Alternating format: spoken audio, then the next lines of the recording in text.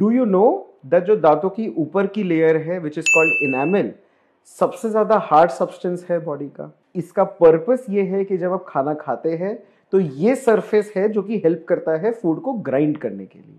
अब because of the stresses which are increasing जो amount of wear and tear एक 60 year old को होना चाहिए था, वो अब हम एक 40 ईयर ओल्ड में देख रहे हैं।